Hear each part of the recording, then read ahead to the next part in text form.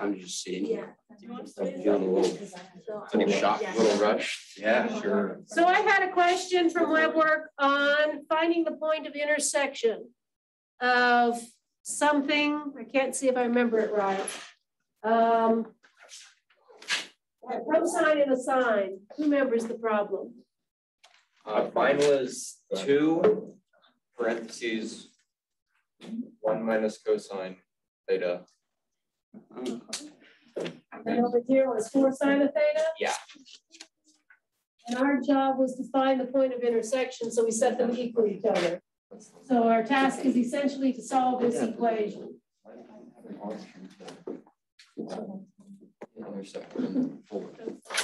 Well, I mean, you, you stay in. All right, geometrically, in the polar plane, what are, we're looking for the point of intersection between two polar curves. What kind of polar curves do we have? Sine and cosine. Okay, what's the graph of this one? And where is this circle? Up It's on the y-axis of a diameter four. And this thing? Also a Cardioid. Cardioid. Put the minus here, it's gonna be a cardioid. We're gonna find a couple of points of intersection. So we'll do the intersection first, then we'll draw the picture and see if we need to do anything else. just for fun. Okay, so I see that common factor of two and I just want to get rid of it. Gone.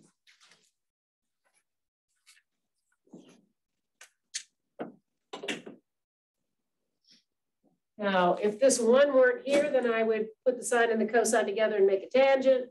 And then I can figure that out from there. One of your WebWork problems was like that. You can put your sine and cosine by dividing by cosine to get a tangent, and then you use an inverse tangent.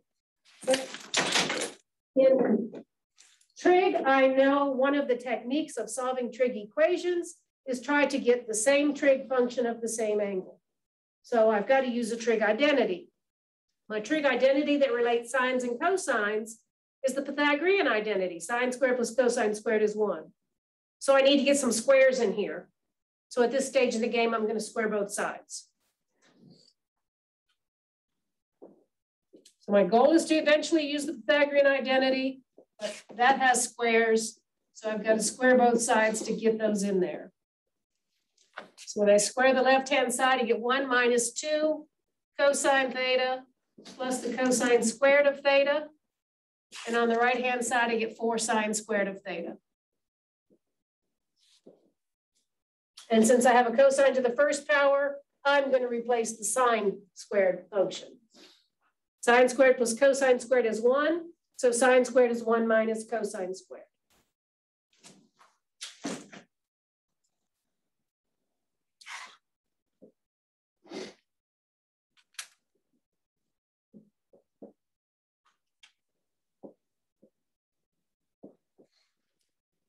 And now I see a bunch of cosine squareds. I have a second degree equation in terms of cosine. I'm going to try to write that like I would a second degree equation in terms of x. I'm going to get a zero on one side and try to factor. So I'm going to distribute the four, move everything to one side, and then take it from there. So when I distribute the four, I'm going to have minus four cosine squared. I'm going to move it over and add it to this one to get a total of five cosine squareds.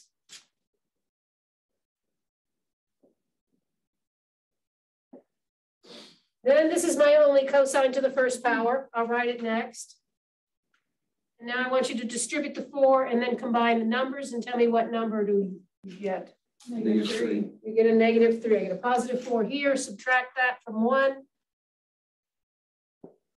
So I want to know if I can factor that. And so I'm going to pull it up, I guess. No, that way's not very good either, but I'll try. I'll try to pull it up here. To get the five cosine squared, I'll put a five cosine of theta times a cosine of theta. And now I need factors of three placed in such a way that I get a middle term of a minus two. So I couldn't possibly put the three here. That gives me too much in the middle. So I've got to put the three here and the one there. That gives me three cosine theta. That gives me five cosine theta. I need a negative two cosine theta, so I need a minus here and a plus there.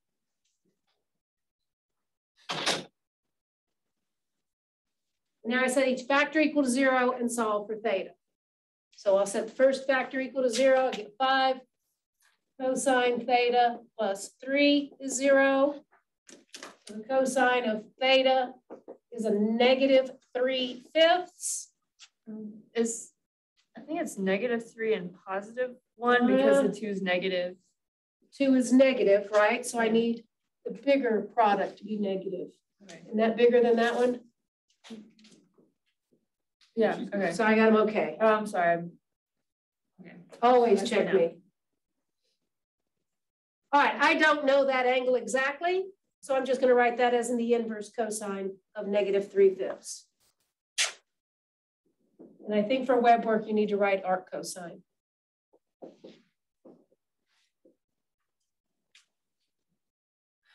Let's get the other theta. This says cosine of theta is equal to one. Cosine of what angle is one? Zero. And they already told us they're gonna intersect at the pole, that's theta is equal to zero. And R is zero because these values are Rs. So to find R, I'm gonna substitute those in here. So when theta is the arc cosine of um, negative three fifths, I get this composite function.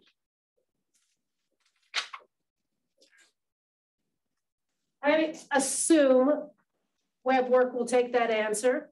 But I know, again, I am teaching trig this semester. So I know that can be simplified. The arc cosine of negative three fifths represents an angle. Since this number is negative and the cosine is only defined between zero and pi, it represents an angle in quadrant two that I would take the cosine of to get negative three fifths. The cosine of this particular angle is negative three fifths. Or this is the angle. Cosine is the adjacent side over the hypotenuse. What's this leg going to be to satisfy the Pythagorean theorem? So what's the sine of this angle? Four fifths. So this becomes R is equal to four times four fifths, which is 16 fifths. So your ordered pair is the arc cosine of negative three fifths is theta and 16 fifths is R. This other one gives you R is zero because the sine of zero is zero. They already told you it was gonna intersect at the pole. So now let's draw the picture. We already know this one. So let's get this picture here. Let's graph R is equal to two times one minus the cosine of theta.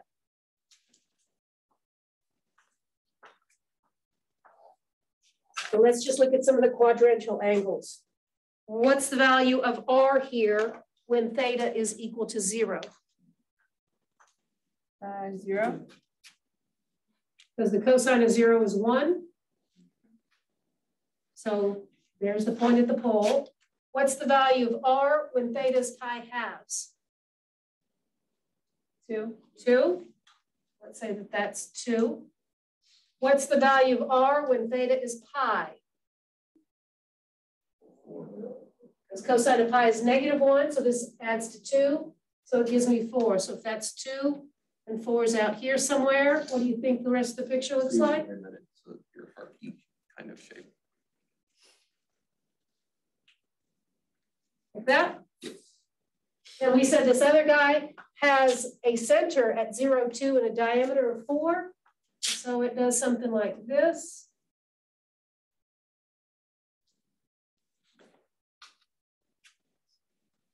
Something like that.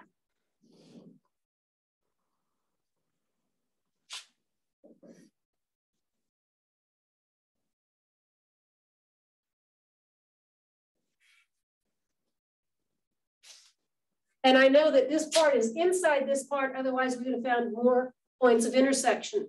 We only found a point of intersection in quadrant two, right? The arc cosine of the negative three fifths. That's this guy right here. That angle is the arc cosine of negative three fifths. And this angle here is the other point of intersection. So this cardioid fits inside the circle. So can you tell me what integral I would need to find the area in the circle but outside the cardioid? Um, so it would be the top graph minus the bottom graph from the left point of intersection to the right point of intersection. Except for we're circular, so talk to me circles. Right. So there's no top and bottom. You got squared one as well. There's an outer radius and an inner radius, and angle to angle, right? So area in the circle, outside the cardioid.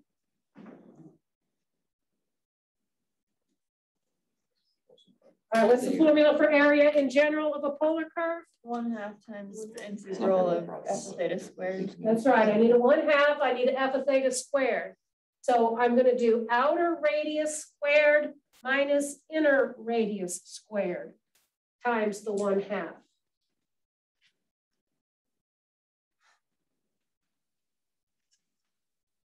So that area is gonna look like one half the integral of the outer radius squared minus the inner radius squared.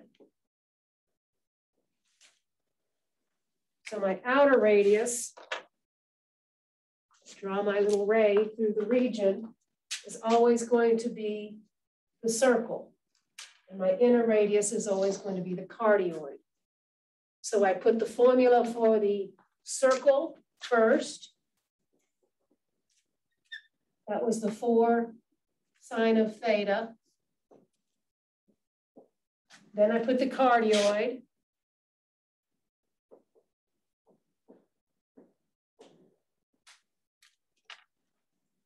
And the numbers that I found as the points of intersection, those thetas go here. So I'm reading from zero to the arc cosine of negative three fifths.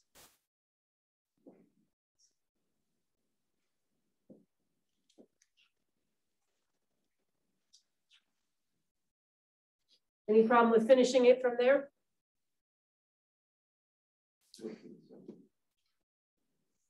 Good. I was having trouble um, with kind of a similar problem where I think you have to integrate in two parts with like a linear line splicing through the middle. Okay, the two circles? Uh, yeah, r equals three cosine theta and r equals six sine theta. That's right. That's right. That's how I wanted to do that one. So let's do it.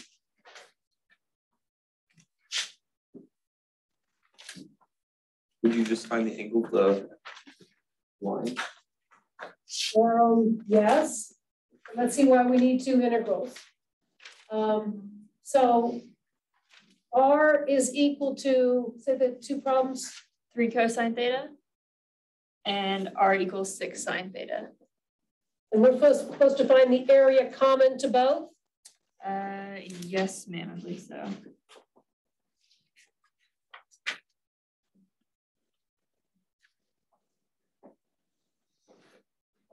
And the problem asks, also asks for the point of intersection, which. which we would need anyway.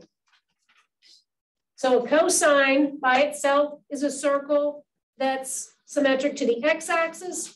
A sine by itself is the circle symmetric to the y-axis. The number in front is the diameter. So I've got a bigger circle up on the y-axis, smaller circle on the x-axis, and they're going to intersect. Let me draw a big picture. So I gotta get my sine curve bigger. So let's say that that's the diameter of six. There's the sine curve or the sine egg. If that's a six, then three is about that big. And so the cosine circle looks like that. Where this number is three and this number is six. And so the region common to them is in here. And there is a point of intersection that's important because in that region that's common to them, it doesn't look terribly symmetric. A little more air in that other circle. That point of intersection we need, let's find it now by setting these two equations equal to one another. So three cosine theta is equal to six sine theta. Again, we have two different trig functions. You can do that deal about squaring both sides to get the Pythagorean identity in here, or you can just write in terms of a tangent, whichever you feel more comfortable to do. I think since the squaring worked so well last time, maybe we'll do that again. Let me try it. Set them equal to one another and then square both sides.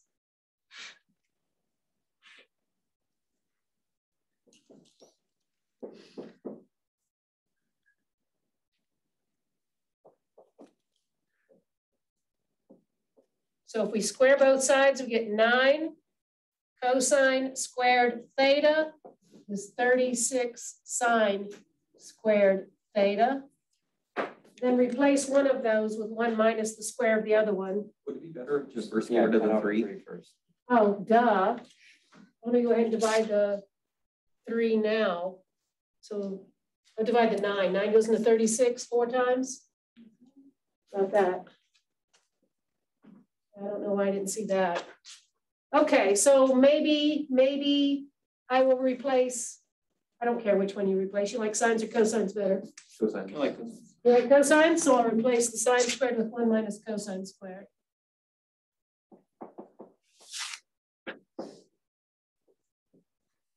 Now let's put them together. I'm gonna have minus four of them here. I've got positive one of them there. So when I move that over, I'll have five of them here. And that leaves me four over there. So I have that the cosine squared of theta is four fifths. Um, it's gonna be a first quadrant angle. Here's our picture. So I'll just take the positive square root. So I get the cosine of theta is two divided by the square root of five. And that makes theta the inverse cosine of two divided by the square root of five. Is there an arc cosine squared? Like, is that, or do you just always square root? Yeah, you take the square root. So that's that angle right there. That angle was needed because I have a region that's not simple in terms of subdividing this with rays.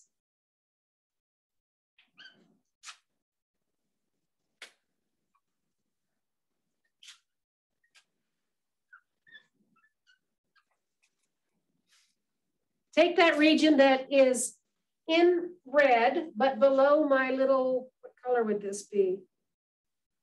I don't know. Pink or purple? What color is that? Purpley pink? Magenta? Magenta. Below the magenta line, if you were to partition that with rays, they'll all hit this part of the curve. Agree? Mm-hmm. That's the sine curve.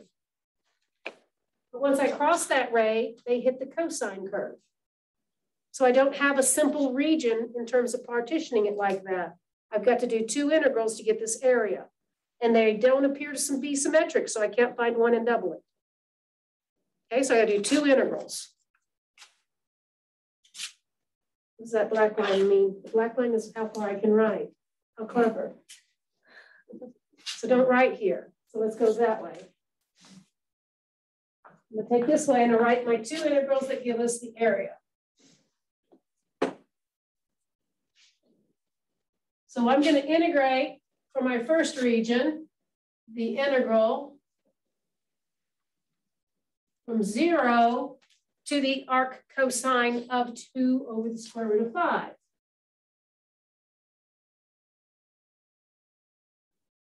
I need my one half, there it is right there, then my f of theta squared.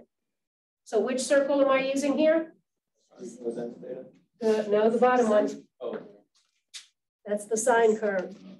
So I'm using six sine of theta all squared.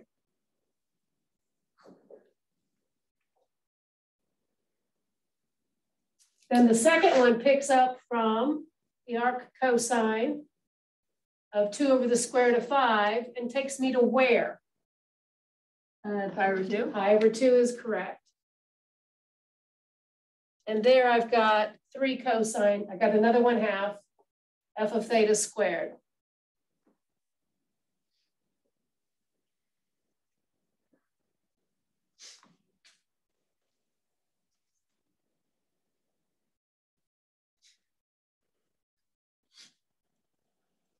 When you integrate away? Okay with the integration or should I do it? Yes, I'm not gonna lie, I don't know why you um chose the six sine theta squared first for that integral. Like, did you? because if I'm below that angle and I partition this region with rays from the origin, Oh, okay. the rays are going to hit the circle that is the sine curve. But once I cross that line, my rays hit my cosine curve. Got it. Okay?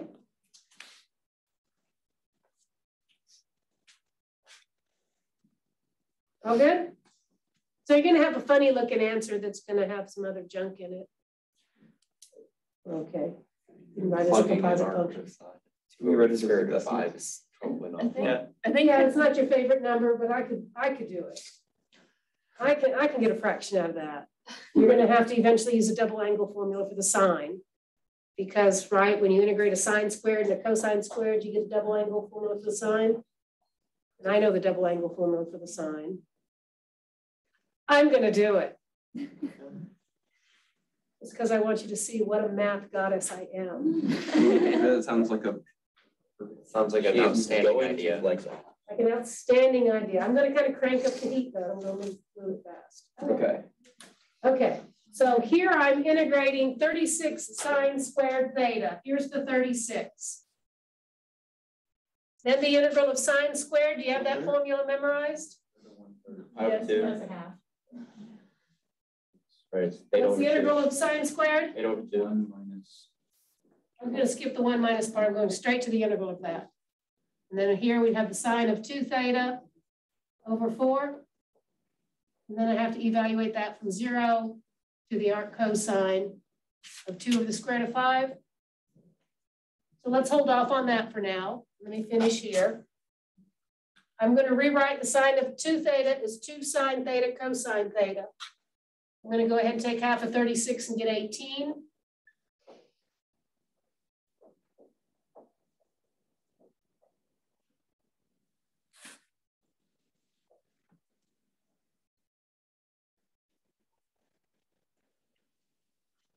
Okay, so this is a trig identity.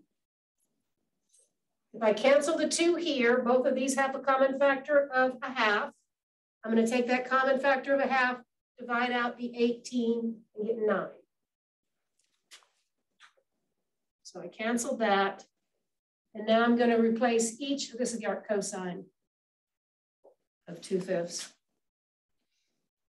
Now I know each of these is gonna be zero at theta zero. So this first term just becomes the arc cosine of two over the square root of five. I canceled that too to get the nine. Here I have minus the sine of the arc cosine of two over the square root of five. And then I have the cosine of the arc cosine of two over the square root of five. What is the cosine of the arc cosine of any angle? Gives you the angle, right?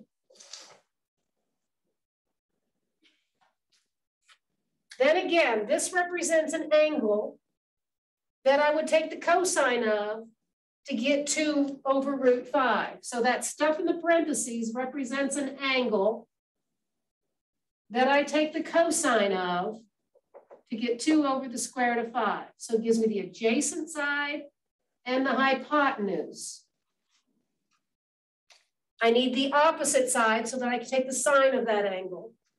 So two squared plus one squared is the square root of five squared. So this side is one. And that means the sine of this angle is one over root five. So I'm gonna get nine times the arc cosine of two over root five. This I said was one over root five. And that's two over root five. So you can write that last fraction as two fifths. Now let's go and collect the other integral. So now I'm gonna do this part. And so I get the square of three is nine, put it out here, I'm gonna get nine halves. Now I'm integrating cosine squared, and I get the same thing with a plus.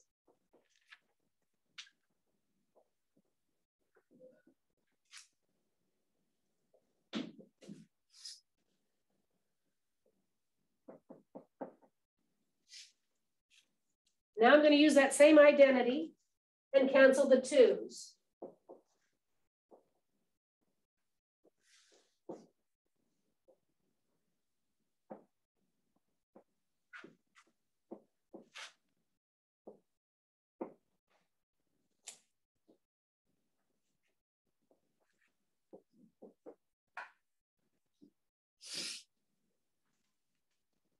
Okay, now what? Now I gotta put in the pi halves. I'm gonna take that common factor of a half out front and make that a nine fourths. My top right there. Here I get plus nine over four, so the twos came out and went to there. Pi halves is going in, cosine of pi halves is, Zero. so I'm just gonna get pi halves out of that. And now I have to subtract what I get when I put this in there. So I'm gonna have an arc cosine of two over root five. Then I get the same deal that I got over there. Right, sine of the arc cosine, cosine of the arc cosine, and it should give me uh, two, two fifths. So that's gonna be plus two fifths.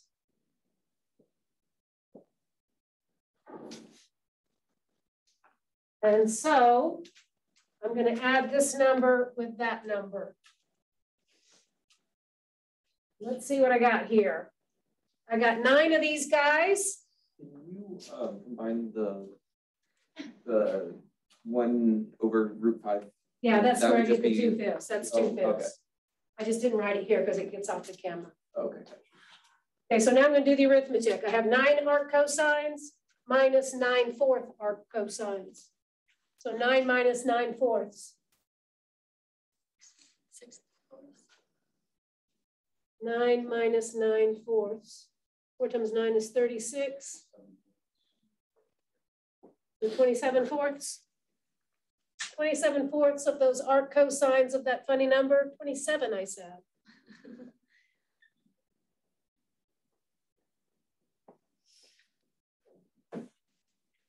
All right, then what's left? I have two fifths times nine, so that's minus eighteen fifths. And I have nine fourths times two fifths. That'll cancel there, put me at two, I get, roots of five, fifths. No, the, the, um, They the multiply. one cents, okay. and so I was, now I gotta do it again.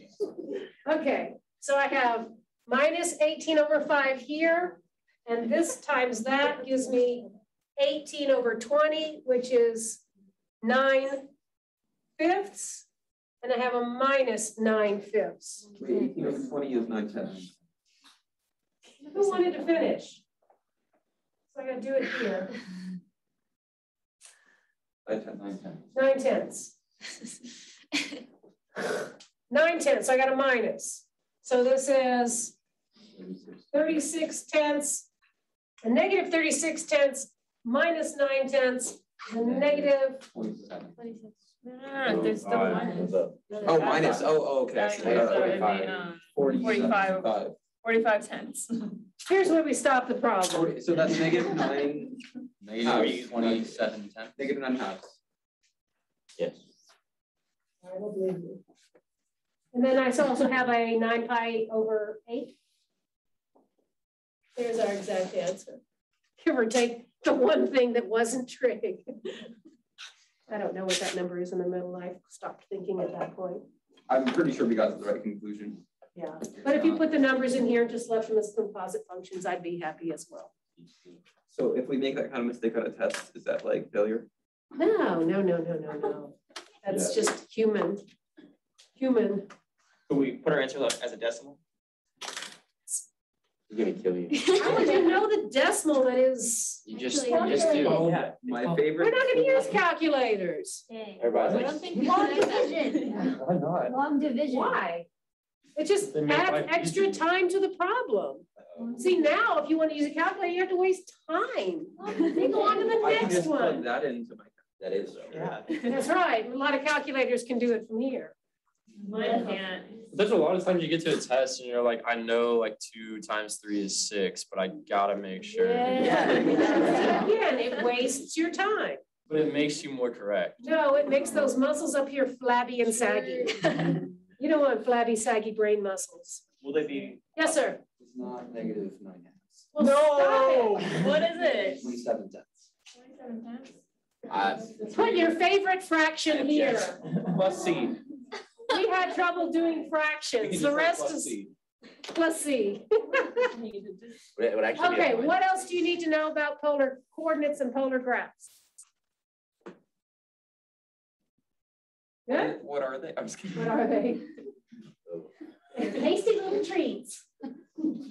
Sine theta is equal to two sine theta plus one theta. We ended class on Friday by deriving the formula for the arc length of a rectangular defined curve.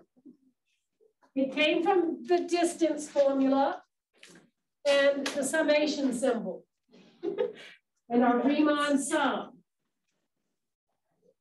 So I don't want to derive it again. I want to just practice using it.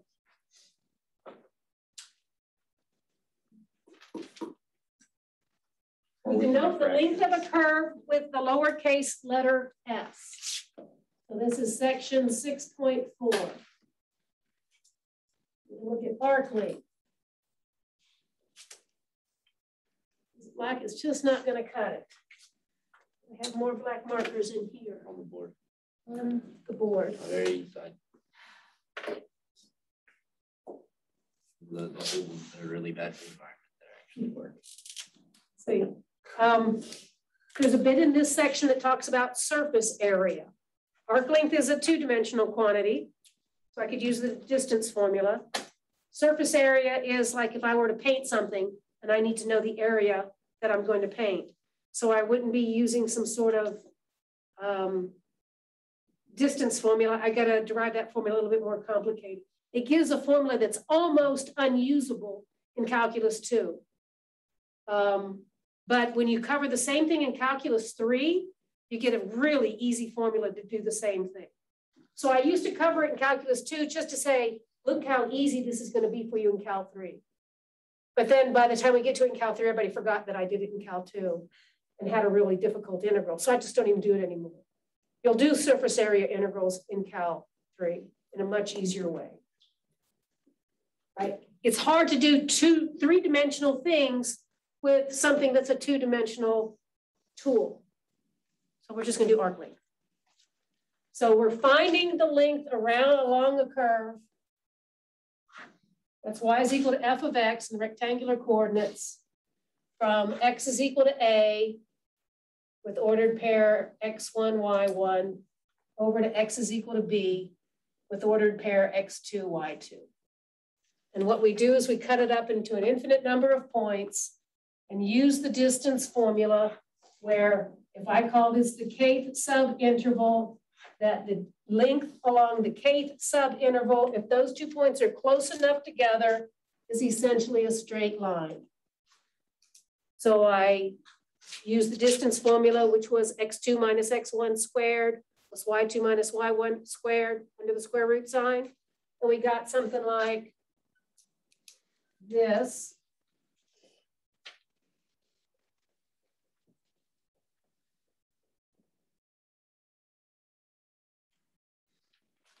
I divided everything by delta xk squared, which is the same as factoring out a delta xk. So we were able to rewrite that kth partitioning element. I said I wasn't going to derive it again, but I am.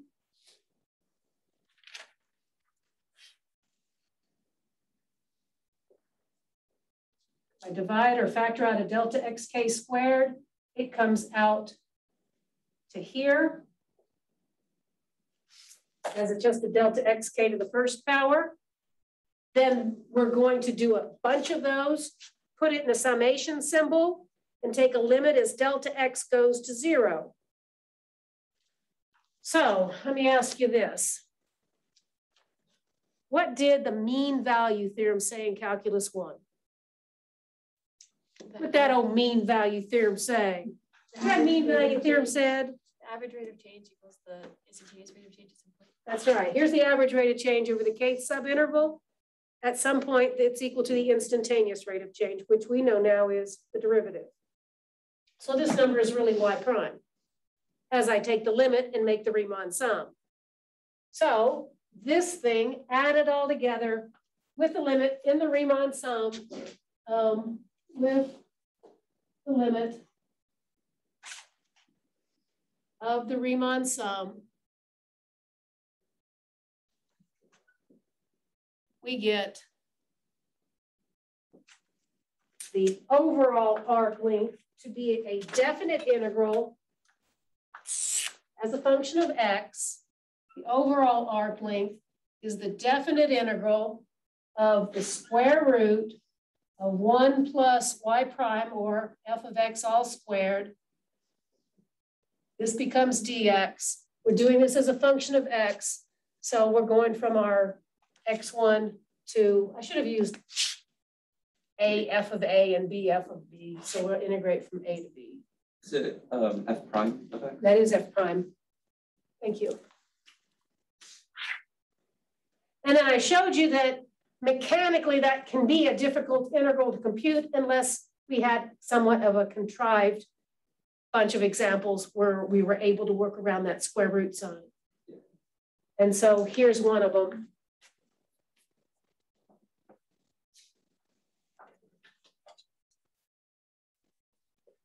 One of them.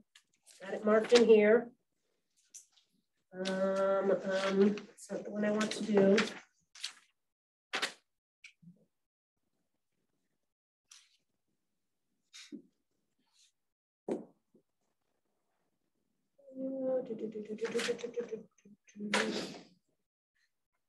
I thought I had it marked.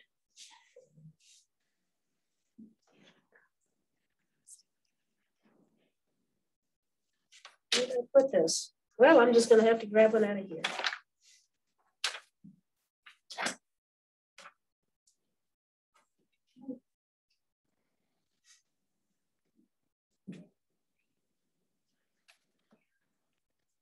Okay, so let's let y equal, let's see, x cubed divided by 24 plus 2 over x.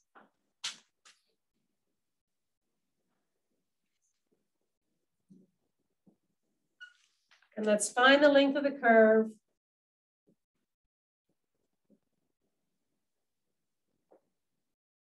This curve from x is equal to one to x is equal to two.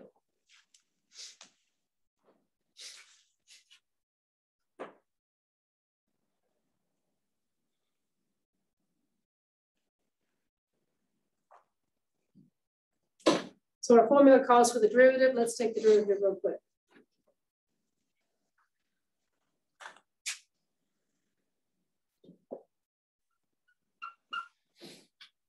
The derivative here is 3x squared over 24. The 3 divides into the 24 eight times. So how about x squared over 8?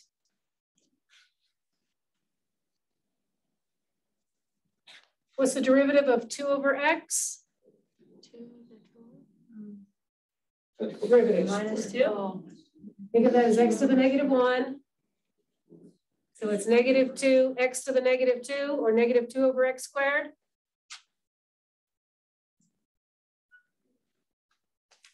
Been a while since I've done Been a while. derivatives. Been a while. I- I added one. I was Right, like, you did, you did. So you're taking the derivative of that as two x to the negative one with the power rule. Okay, now let's put that into the formula. And so our arc length is found by computing a definite integral from x is one to x is two of, I want one plus f prime squared in here. So one plus that guy squared.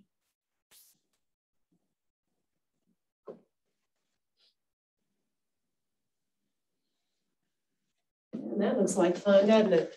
Yep. And we do, we do have to square it. I want you to square it first. I want you to see what you get when you square x squared over eight minus two over x squared.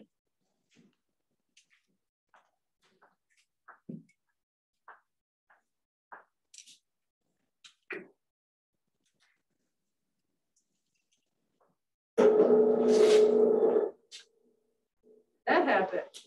I touched nothing. This room is haunted.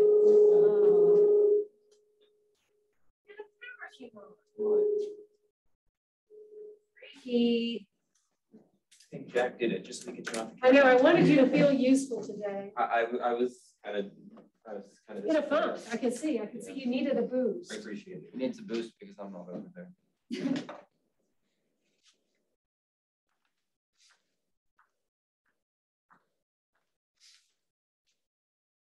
right, you done squaring? Am I in the right terms?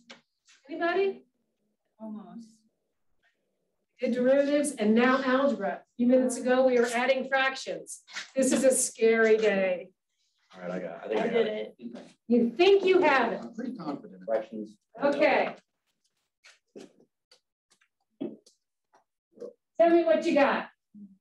X to the fourth over sixty-four Okay, minus one half, I got, I got minus eight. Yeah, I got mine six. four over X to Oh, the y'all fourth. are- minus. Y'all are right, it is minus one half, dang Okay, maybe that's. all Um, right. Who needs help getting that middle term? yeah, the X squared. I know what I did, I just flipped the fractions around. Right, the middle term is twice this product. So that product, the x squareds will cancel and you get two over eight, two over eight's one fourth, twice one fourth is a half with the sign of that middle term. Boom. Whew, got that algebra out of the way, almost. I'm gonna take these parentheses away and I'm gonna add one to a half. One to the minus one half. Did my door lock again? I thought this two touch thing was supposed to work. Sorry. That's my bad. I'm- Uh-uh. I thought we didn't want to early. You guys remind me to bring my ID with me so I can unlock my own door. But the two-touch thing doesn't work. They sent us an email saying they're gonna lock all the smart rooms, but they'll be open from eight to five.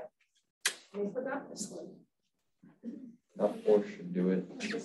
Okay, so I'm adding these two together. I'm gonna put it in descending order again, and it looks like this.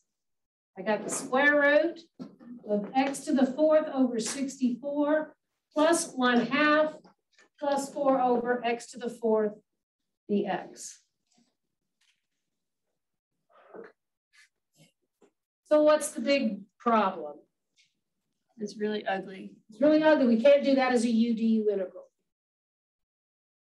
But my hint to you is the problems in this section are contrived so that if they're not UDU integrals, then the stuff under the square root sign, if you've done the algebra properly, is a perfect square. That stuff factors as a perfect square, mimicking what we started with here. When you squared that, you got a minus one half and the same guy, same guy. Oh, not. So what do you think I squared to get it with a plus one half? I squared over eight plus two over That's right. That factors as x squared over eight plus two over x all squared.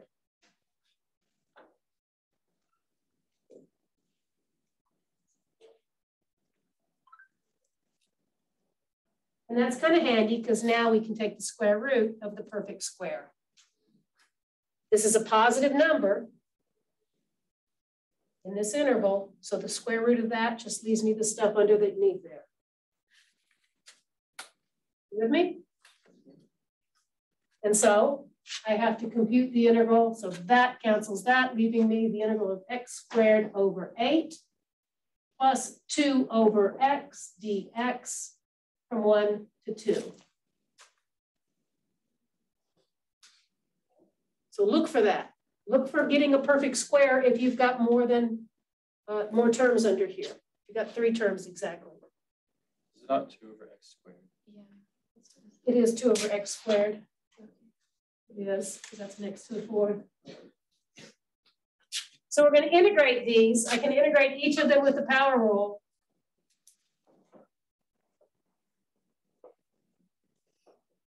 I write them like that to help you integrate them. Add one to the power, divide by the new power. So this becomes x cubed over three. The over three is gonna combine with the one over eight, and give me one over twenty-four. This becomes x to the negative one over negative one. So I'm gonna write that as minus two over x to the first power from one to two. And now I'm gonna put the numbers in. Two cubed is eight, eight over twenty-four is one third. Two over two is one. Put a one in there and I get one over twenty-four minus two. That's as far as I wanna go. I think that should be a positive number, so I think we're okay. Two, that's one. Yeah, I'm eight minus one and seven over twenty-four. Got that for mixed fractions here. Just wanna make sure it was positive. So they're all gonna work out so that you'll be able to figure that radical sign to this point in the game. So it's something we know how to integrate from Cal one. Let's do one more and then we'll go into polar coordinates. Yes, maybe I should do that already since we're running out of time. We get out of here at, Yeah. oh, I got time. I can do one more. I can do one more. I never know what I can and can't do in this class. I can do everything except shut that off. Well, that's my job. So that it doesn't matter. I'm an extension of you in that case. Um, so, so, so, so, how about we look at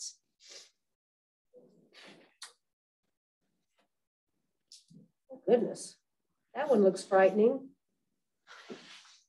I guess that means we should do it. The scariest one. It's better to take the scary ones in class. Okay. We're gonna find the arc length of. This is gonna be fun. I'm kind of excited. I'm getting a little tingly feeling all over. Let's do the same for f of x. This is gonna freak you guys out. Uh-oh. Got e to the two x here, minus one. And that's not it. Minus the inverse secant of e to the x. Why would oh, they Oh, I knew, that? as soon as she said it's gonna be, we knew it was gonna Is be she, trigonometry. And we're going to integrate this, find the arc length on the interval from zero to the natural log of two. I don't think I've ever seen arc or inverse secant before. Ever? I don't think so. And I'm going to ask you to take its derivative. Whoa. Okay, so do the same for,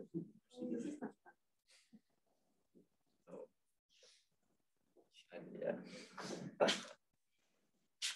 let me write that formula a little bit higher so I got more room to work. Formula. That's a square root, one plus an f prime squared. A to b. That's our goal, so you gotta take the derivative of that thing. That square root sign there is a one half power, so we get a little chain rule action here. Bring the power down, raise it to one power less, multiply by the derivative of what's inside. Okay. So let's put F prime over here. Bring the power down, raise it to one power less. Multiply by the derivative of what's inside. What's the derivative of e to the two x minus one? Two e to the two x. That's right. Happy with that? All right, somebody in here remembers the formula for the derivative of the inverse secant of u. One, one over the absolute value of x times the square root of x squared minus I'm Wow. from that. All right, that was you. One over the absolute value of u times the square root of one minus u squared. Who did that? Who knew that one? It was an airport. You looked it up? I got That's my okay. Information from my I was waiting for you guys to say it. I was about to. I was about to guess.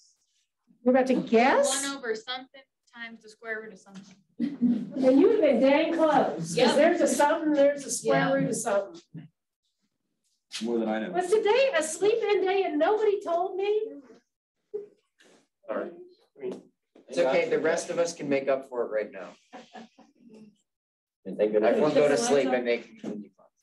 I can't sleep now, I'm kind of, I'm excited about this.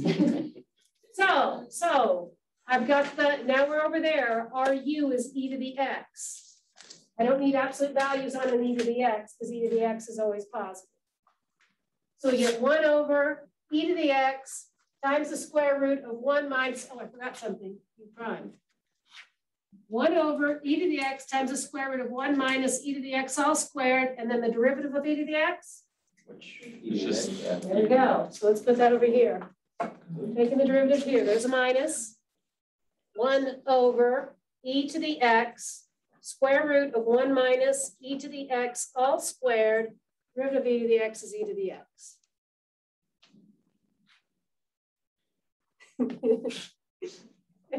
Can't wait. to take the square root of that square. What is e to the x all squared gonna look like? Into X. e to two x. So let's simplify. These twos cancel. This goes in the denominator. This is going to stay on top. So I get e to the two x up here. That's going to go on the bottom as a one half power. Oops, I wrote that backwards. It should be u squared minus one. Right, they got to match. So this is e to the x squared minus one. So they both have the same denominator, in other words. But here, this one cancels with that one.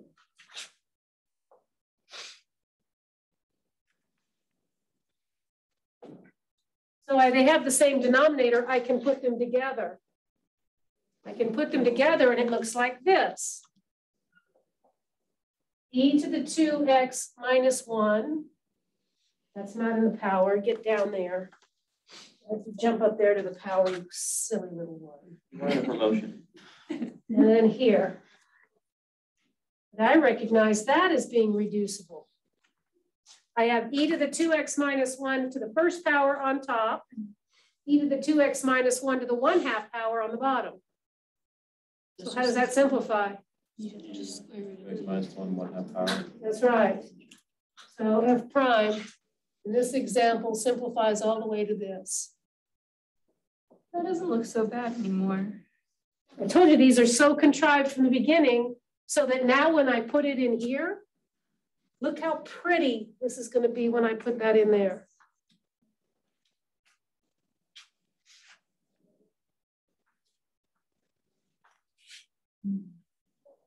Arc length integral, we're gonna go from zero to the natural log of two, square root, one plus our f prime squared.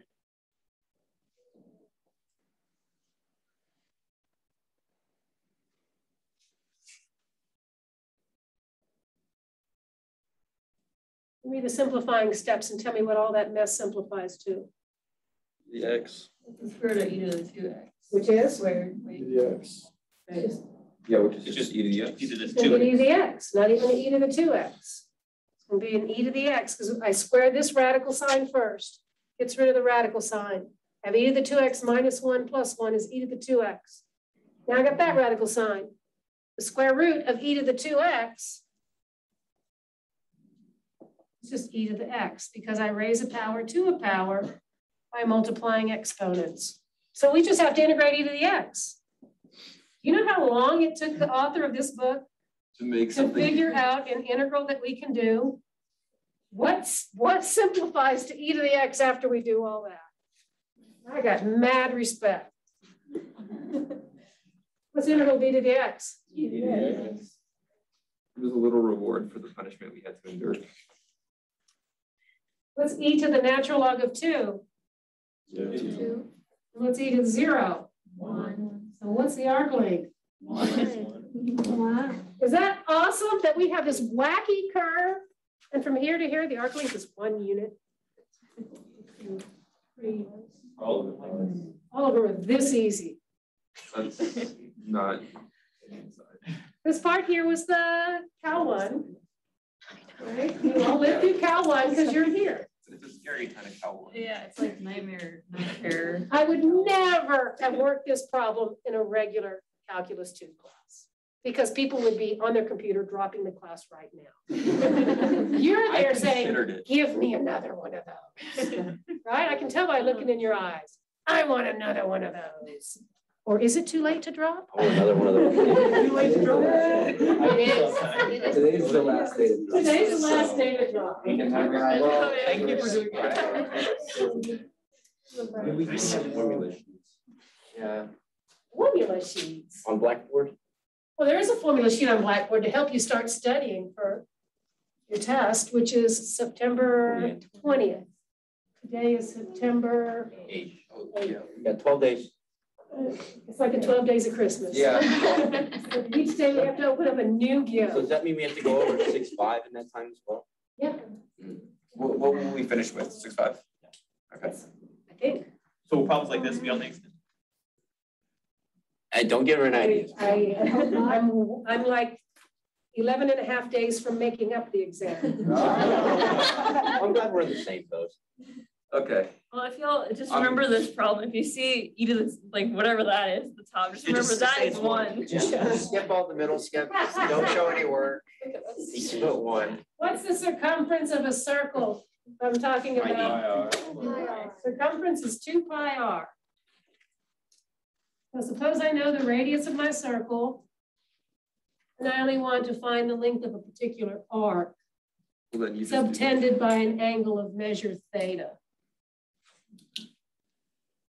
I just want to know how long it is from here to here.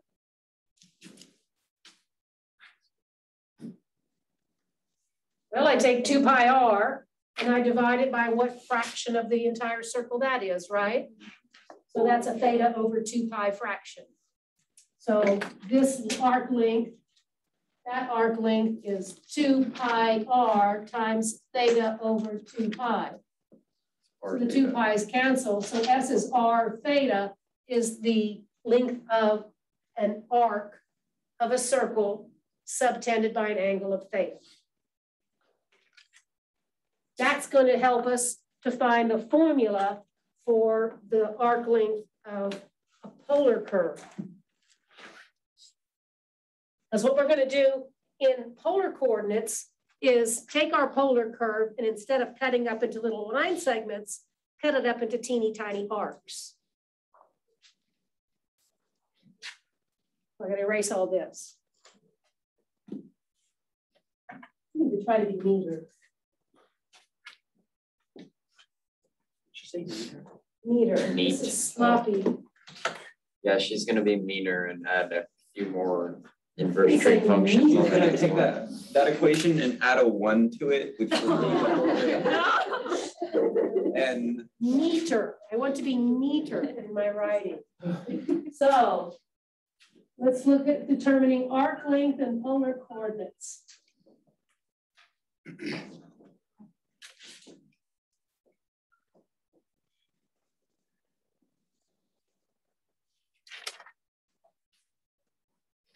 So we've got some sort of polar curve.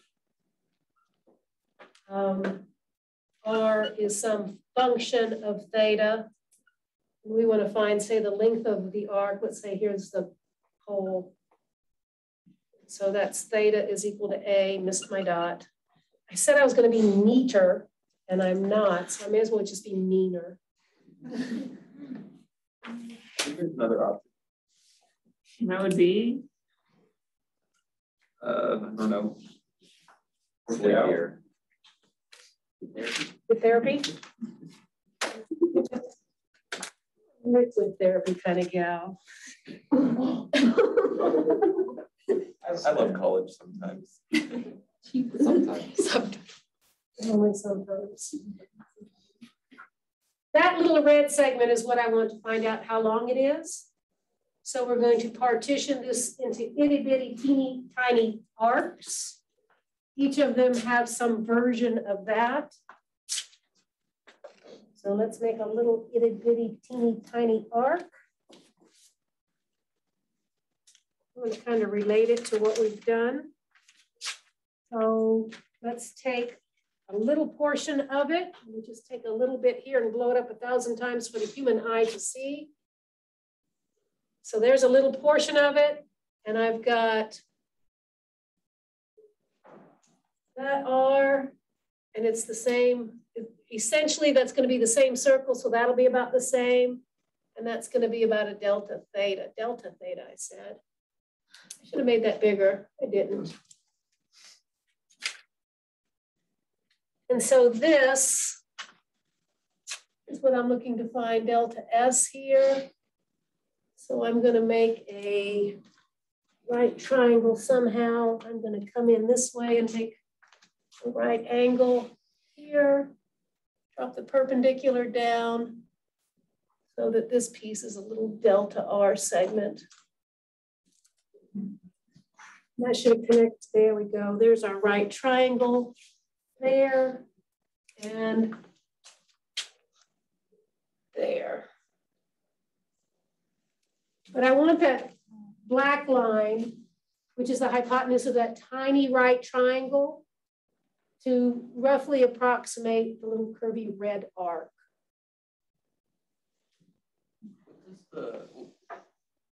That's a delta R, but I wrote it sideways, so Oh, let's write it this way. Delta R is this piece. And so that's the hypotenuse. This then could be thought of as R times the cosine of delta theta. And so this would be like R times the sine of delta theta. Right? And so, so for delta theta small, delta theta small, delta S may be thought of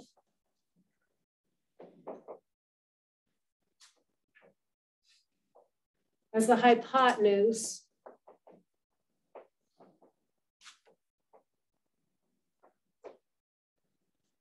of a right triangle with sides of delta R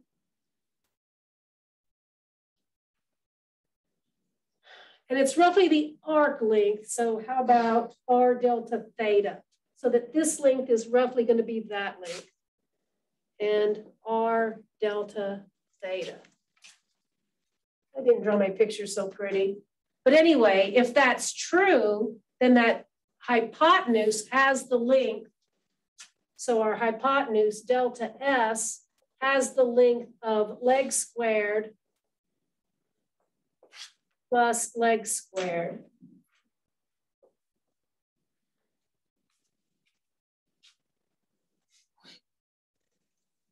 And so I can write that as delta R squared plus R squared delta theta squared. And I'm going to factor out a delta theta squared. And if I factor out a delta theta squared, I'm going to have a delta R over a delta theta squared. Factoring this out of here, so that just leaves an R squared. The common factor of delta theta squared gives me a delta theta outside here. And so if we make the Riemann sum, do this all the way through here,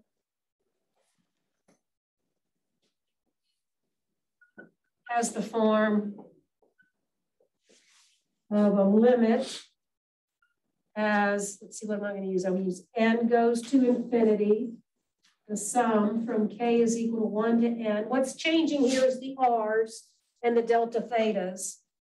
So this becomes a square root of delta r. My counter is on the r's and the thetas.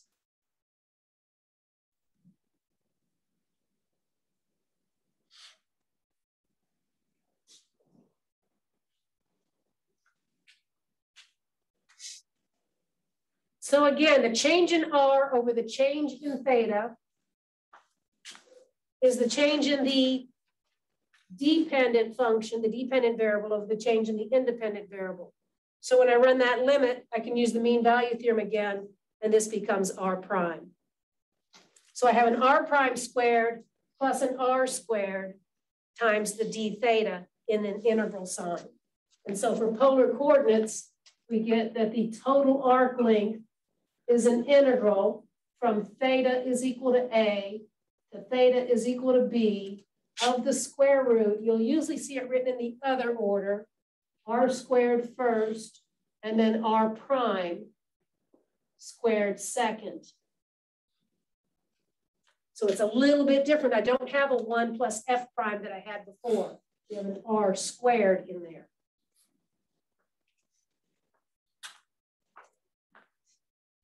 Let's try this on something that we already know the length of an arc. Let's try this on a circle. See if we can do it. But there's our, another new formula. That's the arc length in polar coordinates.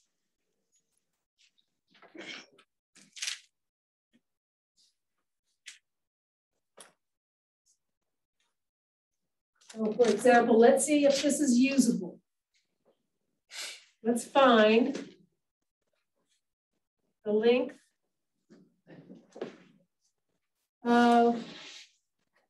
r is equal to 4 sine theta from theta is equal to 0 to theta is pi halves. Let's do it with common sense. Let's do it with our formula.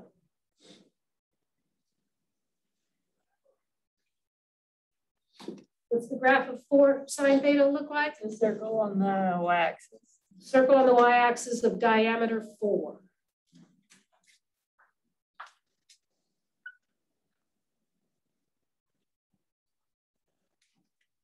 So I'm asking just for the arc length of the right half of that circle from 0 to pi over 2. I want this arc length here. So you're to find the total arc length. The diameter is 4.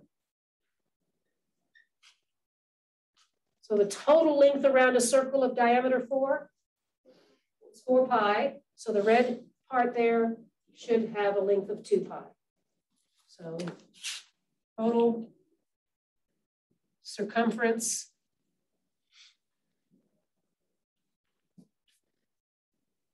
is pi times diameter. So this arc length is 2 pi.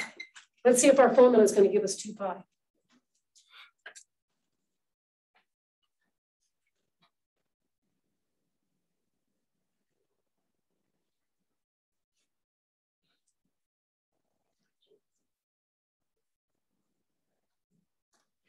So R is 4 sine theta. What's R prime?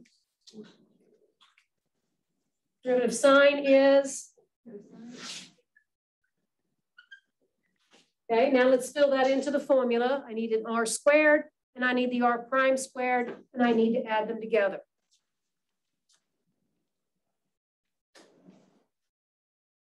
From zero to pi halves. Under the square root sign, R has to be squared, so I'm going to put the 4 sine theta here. And then I add to it R prime all squared. And then I got to somehow be able to integrate that. And kind of think ahead and see whether or not we're going to be able to integrate that. Because Pythagorean identity. That's right. Both of them are going to have a factor of 16 in front of them. And then I'm going to have a sine squared plus cosine squared. So this thing inside the integral gives me 16 times the sine squared of theta plus the cosine squared of theta.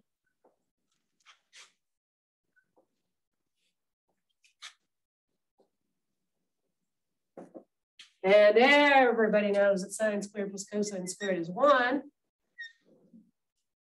So I just have the square root of 16 right there. Square root of 16 is four. You got to integrate four with respect to theta. Which is?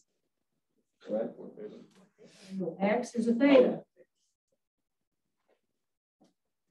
And then when I stick in the zero, I get zero, but when I stick in the pi over two, we get two pi.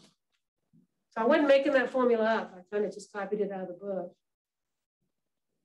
For saw like, how awesome that book is with that last example. Mm-hmm. for like our quizzes and stuff, or tests, I guess, will we have to know how to derive these formulas? Like, No, I just uh, hope that when I derive them, it helps you remember them. Both of them came from this one with the hypotenuse of a right triangle, which is got a square root sign in it. It's the Pythagorean theorem. The distance formula is the Pythagorean theorem. So that's going to help you remember the square root sign. Students often make a mistake and put a minus here. But in the Pythagorean theorem, there's a plus, right? So now that you've seen it derived as a Pythagorean theorem step, you, you'll remember that, you'll remember that, and you'll remember the squares. So that's primarily why I derive the formulas. Are we gonna need to memorize all these formulas for the test? Absolutely. Okay, so let's grab one that's not so basic. You'll see again that we get integrals that we can't do. I look at a cardioid. Let's try to find the length of the arc around a cardioid. And see if we run into any trouble with that square root sign as being part of our formula. So let's take the cardioid we did earlier. R is equal to two times the quantity one minus cosine of theta. Let's see if we can find the length all the way around it.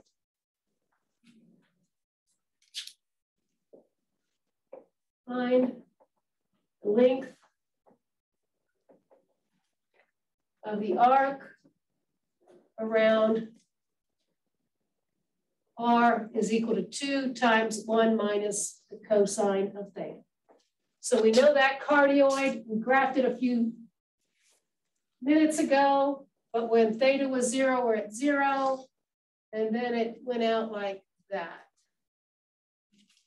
So to get all the way around that cardioid, we have to integrate from zero to two pi. Now we got the square root sign, we got to take our r and square it. We also have to take the r prime and square it. So let's take the derivative of that as a function of theta.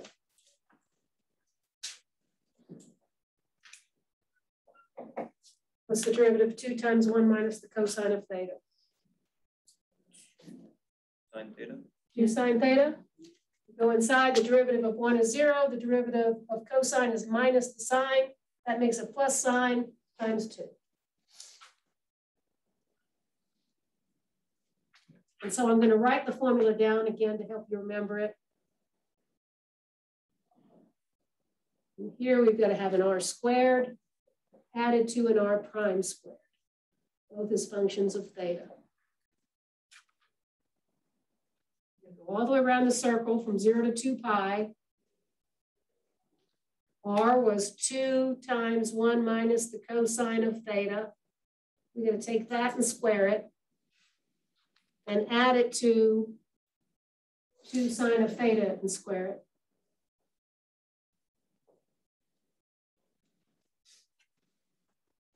So carefully do the squaring and see what happens.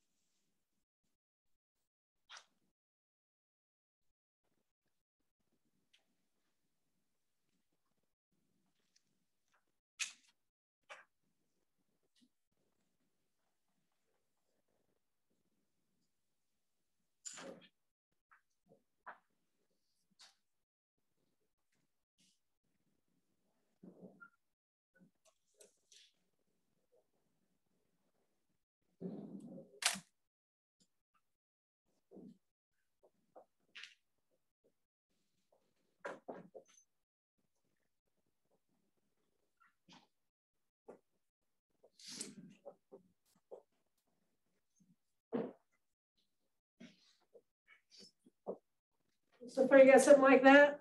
I'm gonna take the four out front as the square root of four, and just put a two out front.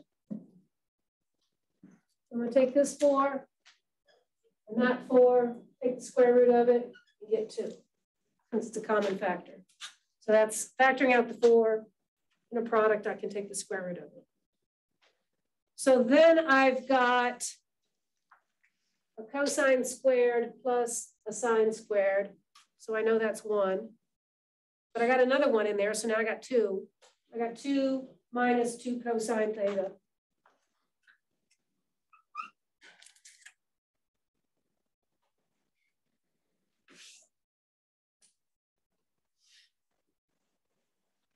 Can you integrate that?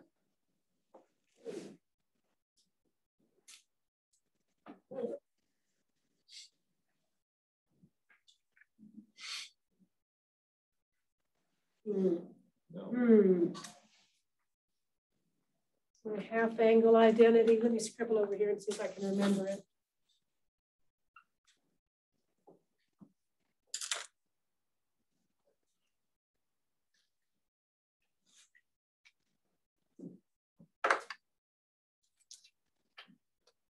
Oh, that doesn't help me.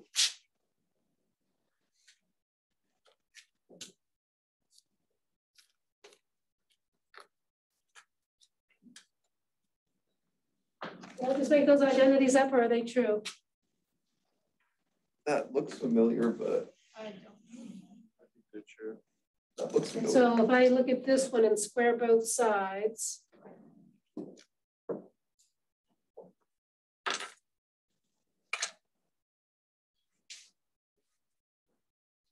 So if I solve for this, I have this.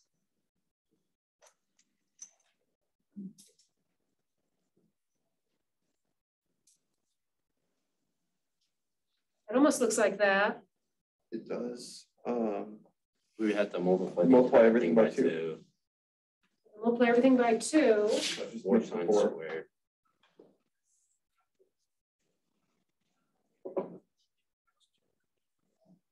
Then replace A with theta. So that means I can substitute that out.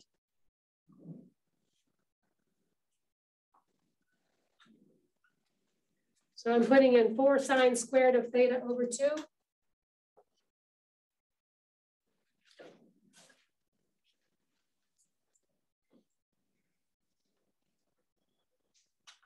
That was magic.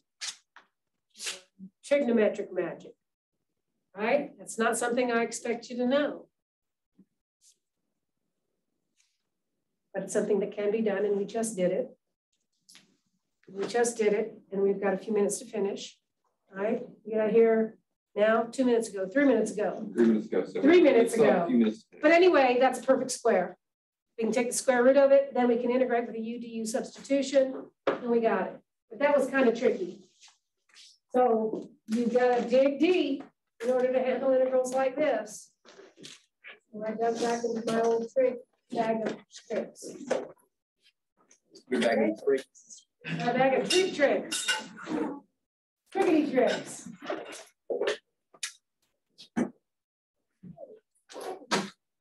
Okay.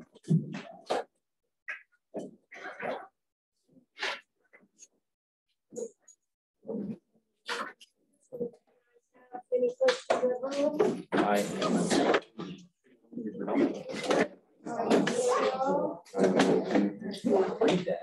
Um,